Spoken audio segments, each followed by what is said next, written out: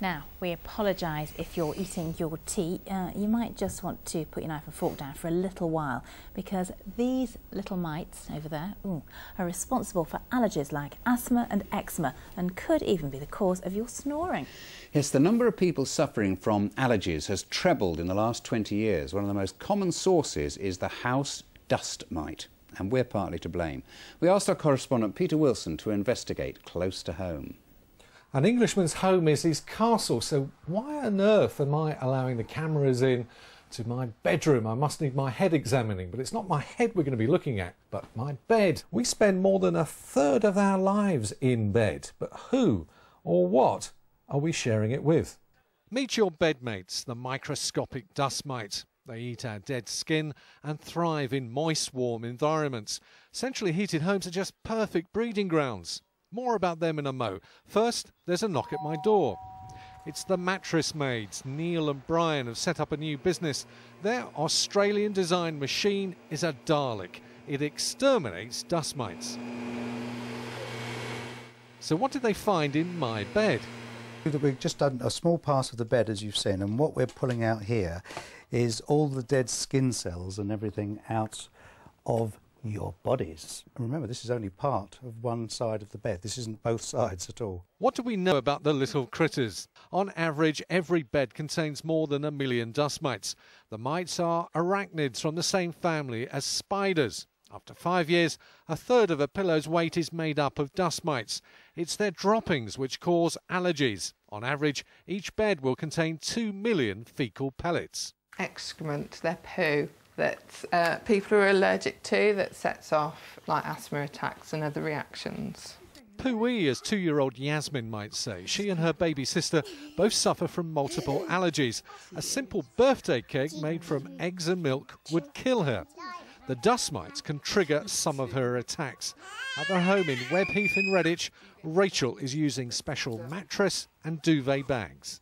So you shed a lot of dust into the mattress and that gives the dust mite something to feed off. So this just protects that. So then it sort of hinders the dust mites development um, and sort of reproducing and giving them food to live off basically. Our beds are like fertile plains for the dust mite herds to graze. I'm tested to see if I'm allergic to them. I'm a mild case. Dr. Jonathan North at City Hospital Birmingham treats many serious cases. If you have an allergy to pollen, that will cause hay fever just around the, the nose and the eyes. Whereas with house dust mite fomites, they, they breathe, they hit the nose, the eyes, and go right into the chest. So they can cause symptoms in all the places, where sometimes where pollen, for example, won't reach. Each death ray machine costs £10,000. To have one bed treated sets you back around £30. And the whole process, the whole idea, is to use the uh, double UV uh, light in order to be able to kill it because that penetrates one and a half meters uh, down and then the vacuuming effect actually picks everything up. We use a triple filter on the bag and that takes everything out of the mattress. But the dust mite doesn't give up easily. After six months, they'll be back in the same numbers. Our homes are just too inviting. Ooh. Yeah, that's the evidence, and it? this is what came out of Peter's mattress. Not a pleasant sight. No, Pass very. the pepper, mother. um, anyway, he's in the studio with some tips for us now. How do we get rid of these things then, Peter? Well, before you do anything, you want to make sure that you really need to. Are you or your children allergic to dust mites? You can get a test, talk to your doctor. Now, none of our tips will harm your health, but they could damage your wallet. First, fresh air. When I was a lad, there'd be ice on the inside of my bedroom window in winter. Now, that was not to kill me off, but it certainly got rid of dust mites. So the experts say open your windows and keep rooms aired.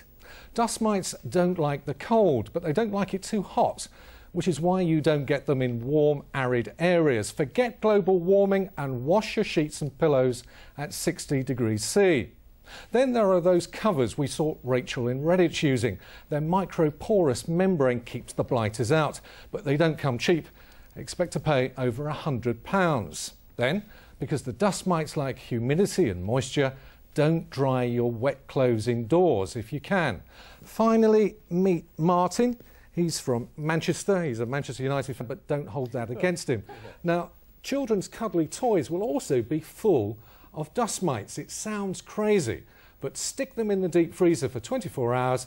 That will kill the dust mites, and you can thaw Martin out and put him back in your children's bed. Poor Martin. And um, apart from it being very clean now, what was the other effects of having this done on your bed, having it uh, cleaned this up? machine. Well, it was strange because the bed actually felt firmer and it did feel uh, clean.